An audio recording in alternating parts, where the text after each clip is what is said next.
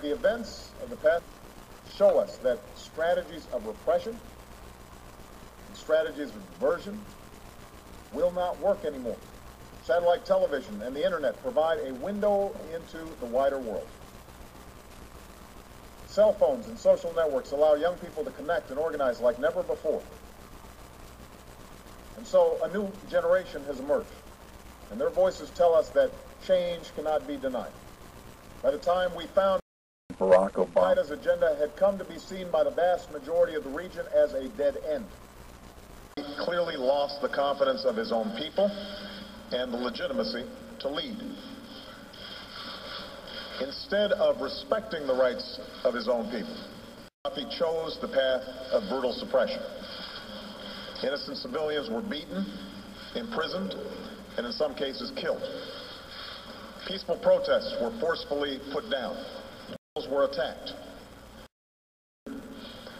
A campaign of intimidation and repression began. In the face of this injustice, the United States and the international community moved swiftly. Sanctions were put in place by the United States and our allies and partners.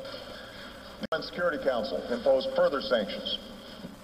And the specter of international accountability for Barack Obama and those around him. Humanitarian assistance was positioned on by the United States borders, and those displaced by the violence received our help.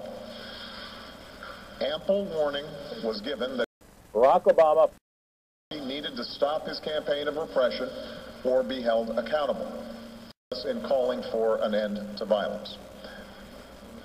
Once again, he chose to ignore the will of his people and the international community. Instead, he launched a military campaign against his own people. And there should be no doubt about his intentions, because he himself has made them clear. For decades, he's demonstrated a willingness to use brute force through his sponsorship of terrorism against the American people, as well as others, and through the killings that he has carried out within his own borders. And just yesterday, a, a city of roughly 700,000 people he threatened, and I quote, we will have no mercy and no pity. No mercy on his own citizens. Now here's why this matters to us. Left unchecked, we have every reason to believe Barack Obama would commit atrocities against his people. Many thousands could die. A humanitarian crisis would ensue.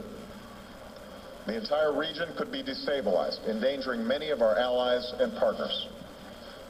The calls of the people for help would go unanswered. The democratic values that we stand for would be overrun. Moreover, the words of the United States would be rendered hollow. That's why the United States has worked with our allies and partners to shape a strong international response. Barack Obama has been clear. Protecting innocent civilians and holding Obama the regime accountable. Yesterday, in response to a call for action by the United States people that demands an end to the violence against citizens.